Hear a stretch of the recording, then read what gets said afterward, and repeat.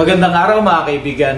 Welcome back to the channel. At para sa video po natin ngayon, i-share ko lang sa inyo kung paano ko kakabitan ng quick lift itong aking Nissan Navara. So yung quick lift po na ito, nabili ko lang to online. As always, pagka gumagawa po ako ng mga videos, lahat ng ginagamit ko doon ay nilalagay ko yung link sa description box. So yung mga gagamitin ko po rito ay ilalagay ko rin sa description box. Katulad po nitong quick lift. Meron din akong torque wrench. So napaka-importante po ng torque wrench dahil dapat maibalik natin sa tamang higpit o tamang specs yung mga tatanggalin nating tornilyo at saka mga nut dyan sa suspension.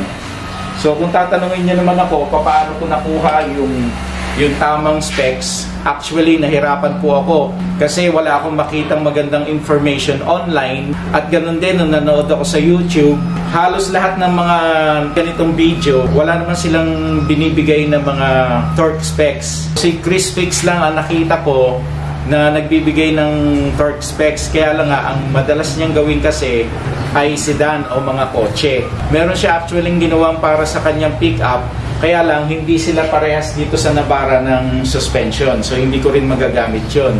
Kaya ang ginawa ko, ako na lang yung kumuha ng torque specs nito. So, mamaya habang binabaklas ko, papakita ko sa inyo kung paano ko yun nakuha. Tapos, habang hinihigpitan ko naman, ipa-flash ko na lang din sa screen yung mga torque specs na ginamit ko. So, ganun din, kailangan natin ng Loctite. So, itong Loctite na ito, Siyempre gagamitin natin yan para dito sa quick lift. Ito ay medium strength. So ang mangyayari dito ay uh, ipiprevent niya yung pagluwag ng tornilyo. Tapos meron din akong kinuha na ball head extractor. Katulad na dito sa upper control arm, pag inalis ko yan kasi, usually ang gagamitin ko lang dyan ay papaluin ko lang ng maso. Pero kung hindi kasi matanggal nito, doon ko magagamit itong extractor. At saka syempre, kailangan natin ng metro. Kailangan natin kuhanin yung sukat ng uh, height netong pickup before and after installation. Hindi po ako professional na mechanic. Kaya lang, nung bata pa ako, marami na rin ako experience na na ako yung nagme-maintain ng mga sasakyan namin. Pagbababa ng transmission, pagpapalit ng mga clutch lining, pag-change oil, change gear oil, ako lahat ang gumagawa nun. Kaya confident ako sa pagtatanggal nito. So ngayon, sisimulan ko siya, susukatin ko muna yung sukat niya before ako mag-install ng quick lift. So tara, samahan niyo ako, gawin natin. Dito sa passenger side, 34 inches dito naman sa driver side, 33 and 3 ports. Mas mababa siya ng konti.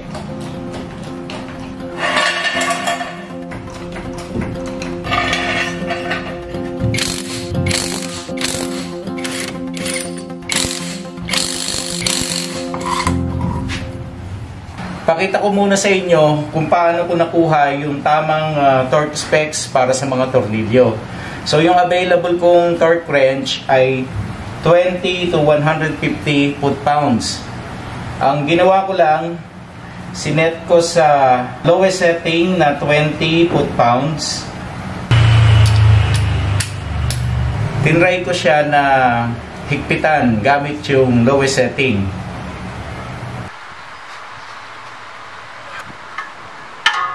So pag hinigpitan ko, ayun, meron siyang click. Ibig sabihin, more than 20 foot-pounds yung na yung kanyang uh, sikip. So ang gagawin ko, magdadagdag ako ng another 10 foot-pounds. So gagawin kong 30 foot-pounds. Try ko ulit. Okay. Dagdag lang ako ng dagdag. Gagawin ko ng 40 foot-pounds. So, hindi pa rin. Ngayon, magdadagdag ako ng, imbis na 10 foot-pounds, dagdagan ko lang siya ng 5 foot-pounds. Kasi sa tingin ko sa liit ng tornilyo na to, baka malapit na na ma-reach niya yung, yung actual na sikip. So ngayon, nakaset na yung torque wrench sa 45 foot-pounds. Titignan ko ngayon kung pag pinihit ko, kikilos ba itong kanyang nut. Kasi pagka kumilos ito, ibig sabihin, nakuha ko na yung tamang uh, specs.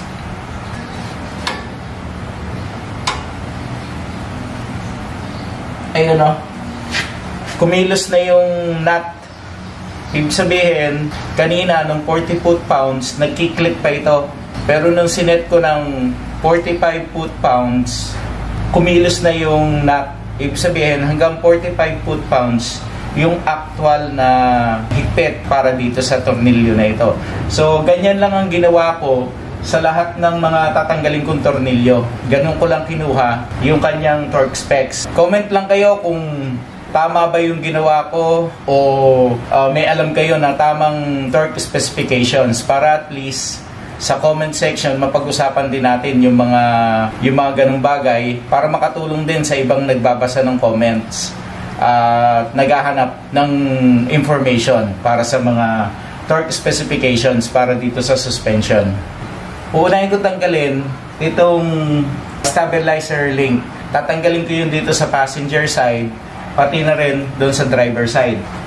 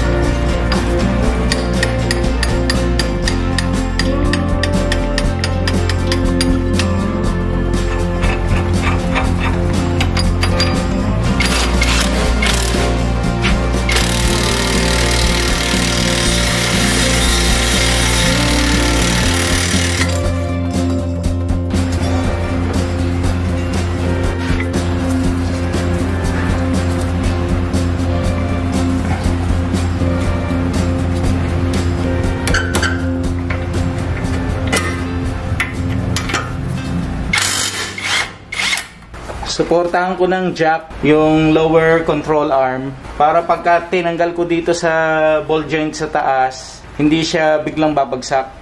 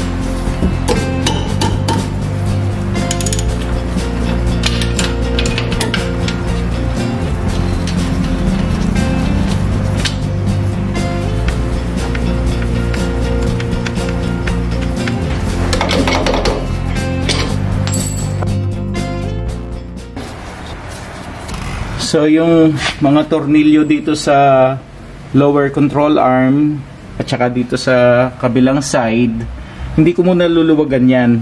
Meron kasing busing sa loob yan eh. Yung ibang nagbababa uh, nito, niluluwagan agad nila para sumabay yung goma. Kasi habang bumababa yung lower control arm, pag mahigpit yan, napapalipit yung goma eh. May tendency yon na mag-crack o mapilas. Sa akin naman, nilagyan ko siya 'di ba kanina ng ano, ng jack. Sinuportahan ko 'to para yung bagsak nitong lower control arm limited lang, hindi siya babagsak ng todo. So mamaya, kabit ko na lang muna yung quick lift tapos balik ko rito sa mount. Pagkaraan nun, pag na-assemble ko yon isuportahan ko uli ng jack dito sa ilalim hanggang sa umangat itong ano, itong chassis. Sa ganoong paraan, parang ma-imitate ko yung nilagyan ko siya ng gulong at ibinaba ko sa simento o sa ground. Pagkaraan nun, tsaka ko na lang luluwagan itong mga tornilyo para yung rubber niya sa loob mag-adjust, gumalaw sa tamang uh, posisyon. Yung orientation nito kanina, pag ganyan, ito yung nandito sa harap tapos ganyan ang itsura ng kanyang tornilyo. Ito yung nasa labas. Yung dalawang tornilyo na to nasa loob. Hindi pwedeng uh, mabaliktad dyan. Kasi may distansya yung layo nito at saka yung layo nito. So hindi pwede siya mabaliktad. Ngayon pagka ito namang quick clip nilagay natin doon dapat siyang uh, nakasulat na nabara yan din yung nasa harap. Kumbaga nakaganto rin siya. Nakaganyan siya. Pantay din siya dyan. Kaya lang pagka inilagay natin ito dito siya pumapasok sa likod. Nakaganon. So ibig sabihin iikot ko ito mamaya para itong word na nabara ay nandito sa kabila. So i-rotate ko to. Iikutin ko. So dapat i-compress natin tong spring para mapihit natin ito. Kung mapapansin kasi natin, yung mounting nitong shock, merong degree. So naka-tilt siya ng konti. Hindi siya actually pantay. Kung pantay siya, pwede sigurong i ibaliktad na lang eh. Kung nakaganyan siya, baliktarin mo lang ganun, okay na. So, dapat masunod natin yung tilt nitong ano, uh, mounting niya. So, i-compress ko na to.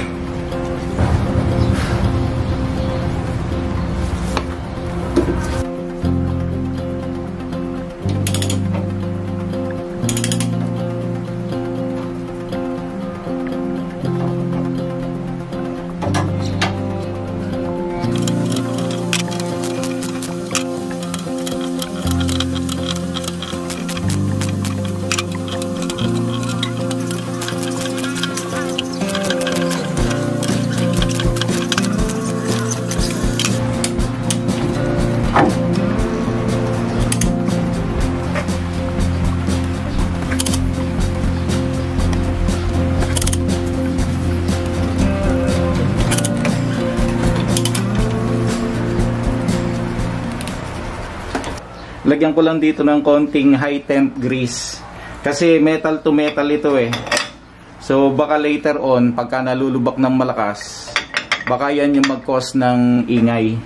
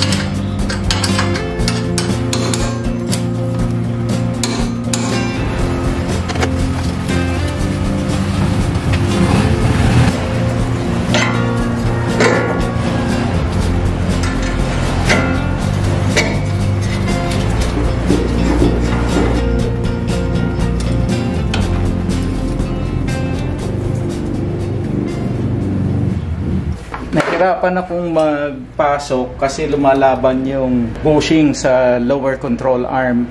Ngayon ang gagawin ko, luluwagan ko lang yun ng konti para sumunod lang yung rubber.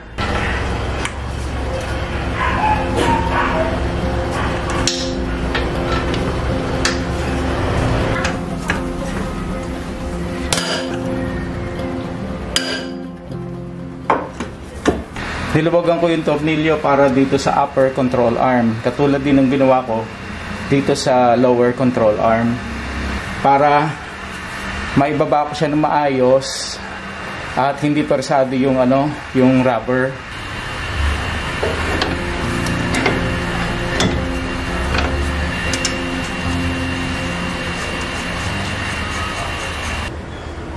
Iangat ko lang ng konti umangat lang ng konti sa pagkaka-jack stand ko.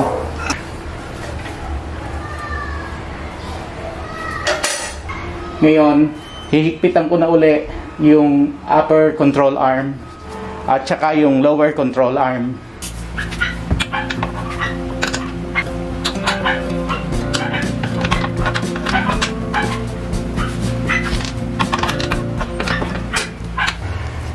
So gagamitan ko siya ng torque wrench at uh, isa-set ko to sa 130 foot-pounds.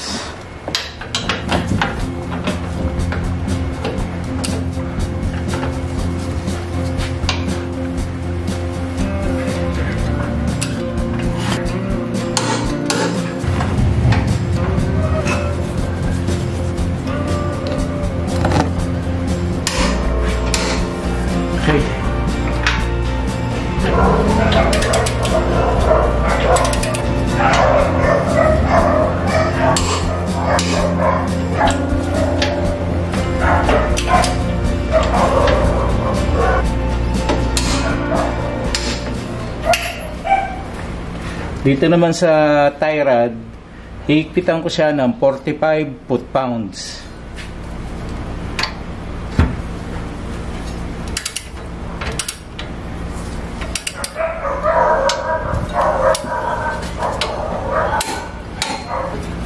Papalit na rin ako ng bagong pin.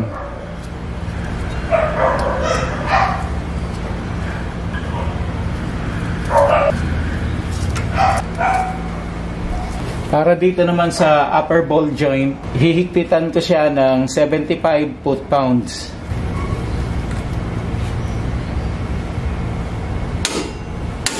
Papalitan ko na rin siya ng bagong pin.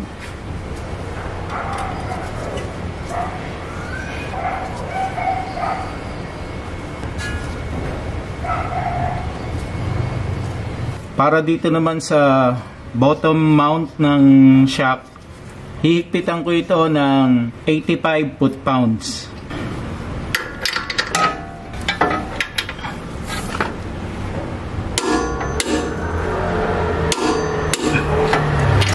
So tapos na ako dito sa passenger side. Nahigpitan ko na, naiset ko na yung higpit niya sa tamang torque specs. Ang hindi ko na lang ikabit ay itong stabilizer So pagsasabayin ko na lang yan, kakabit ko pa muna yung uh, quick clip para sa driver side. Nag-angat ako ng konti para dun sa stopper at nilagyan ko lang siya ng spacer. Although yung spacer ko ay half inch lang, mas maganda sana kung 1 inch yung nailagay ko. Kasi nakita ko rito na naiiwanan yung stopper. So, ang worries ko, pagka nalubak ako ng malalim, masyadong makukompress yung spring dito dahil nga yung height niya humaba na. So, tapos na ako dito. Gawin ko naman yung kabila.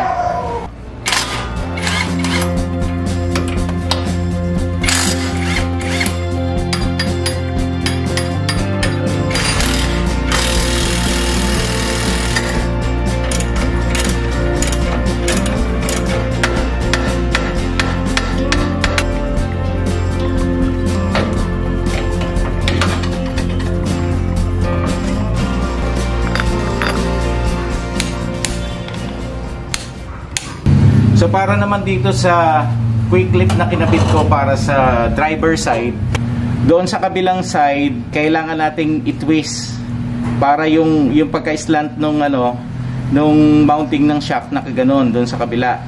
Whereas dito naman sa driver side, hindi na natin kailangang i-twist. Pag kinabit nyo yung quick lift, okay na yon Kasi originally, yung label, itong label na ito, ito yung nakaharap. Ngayon, ang gagawin lang natin, itong label, yun naman ang nasa loob. Yung mounting neto, naka-slant ng konti. Yun ang tamang orientation eh. Para mag-fit ng tama dito.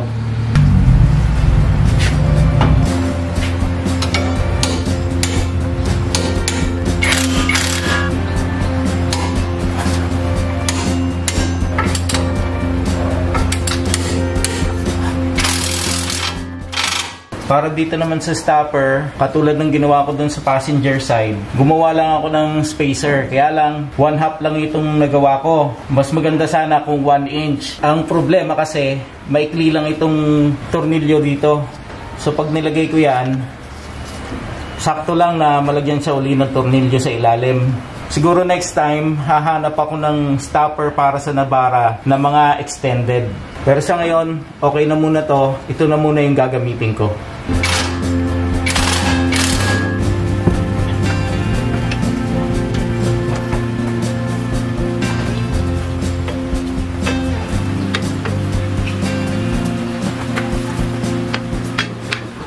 Para naman dito sa stabilizer link, higpitan ko siya ng 60 foot-pounds.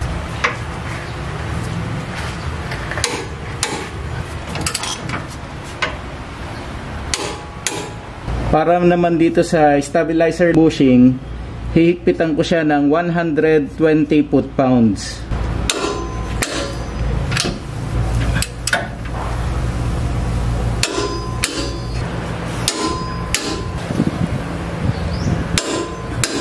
Tapos ko na ikabit yung quick clip para dito sa driver side at ganun din doon sa passenger side. At na-double check ko na rin yung mga tornilyo. Siya nga pala, kung gagawa tayo sa ating mga sasakyan, especially dito sa mga pangilalim, sa suspension, lagi tayong magdo-double check o kung minsan kailangan pa nating mag-triple check para makasigurado tayo na wala tayong tornilyong nakalimutang ikabit o nakalimutang higpitan. So ngayon, kakabit na yung gulong, tapos sukatin natin at tignan natin kung ilang inches ba yung kanyang tinaas after kung magkabit ng quick lift.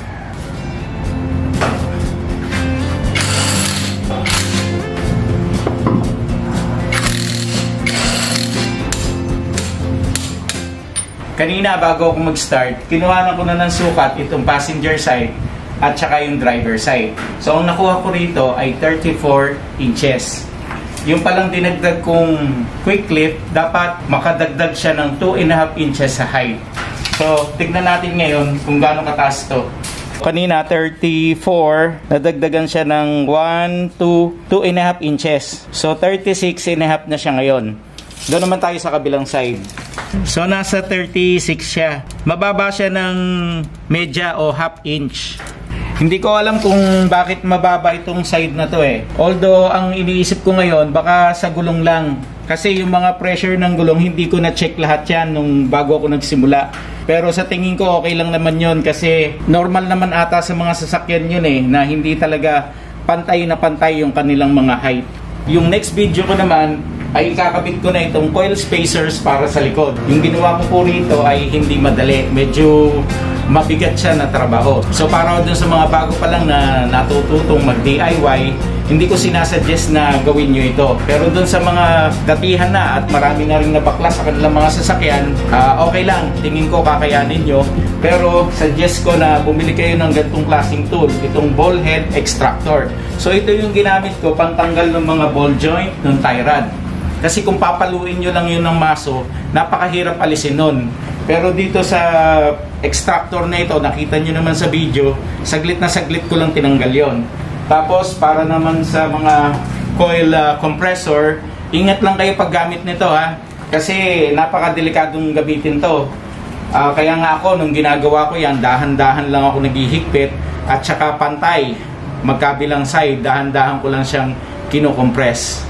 Ganun din, itong torque ah, wrench natin, napaka-importante nito para maibalik natin sa tamang torque specs yung lahat ng tornilyo na tinanggal natin. Sana po may natutunan kayo dito sa video natin ngayon. At i-like nyo rin yung video at i-share nyo rin. Nang sa ganon, mas maraming mga viewers sa YouTube ang marating ng video at ng channel natin. Especially yung mga naghahanap ng mga gantong klaseng mga contents o mga video tutorial. So, maraming maraming pong salamat and I hope to see you again on my next video. God bless.